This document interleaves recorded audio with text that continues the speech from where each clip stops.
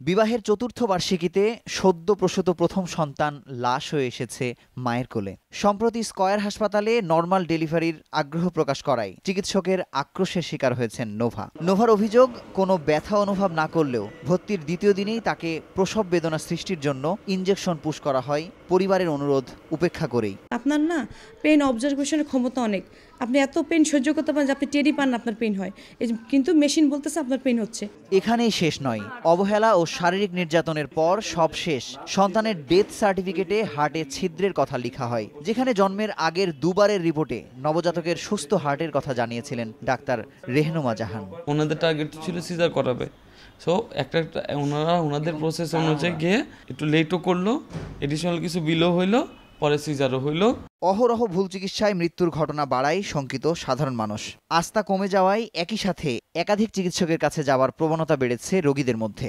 Square হাসপাতালের doctor Krishna প্রভু উনি আমার ভাবির ব্রেন টিউমারের একটি অপারেশন করেছিলেন। এগারো দিন বিভিন্নভাবে ঘোরানোর পর সাতই এপ্রিল ভোরবেলায় ডেকে নিয়ে ঘোষণা করলেন যে আমার ভাবি নাকি হার্ট অ্যাটাক করে মারা গেছেন। আমার বোনের কানের অপারেশন করছিলাম কিন্তু সে শুনতে পায়নি।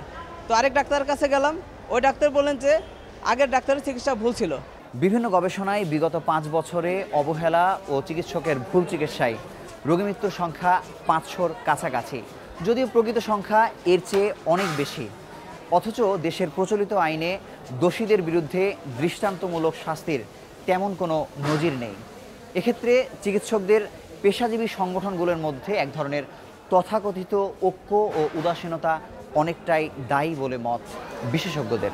তদন্ত কমিটিগুলো যেগুলো করে, ভোক্তার পক্ষ থেকেও দুজন যদি থাকে, রোগীর পক্ষ থেকে একজন এবং সামগ্রিকভাবে ভোক্তাদের পক্ষ থেকে একজন। এটা করলে যেটা হবে সেটা হলো যে ওই যে বিচারের রায়টা বেরোলো, এই জায়গাটাতে কিন্তু আস্থাহীনতাটা কমে যাবে।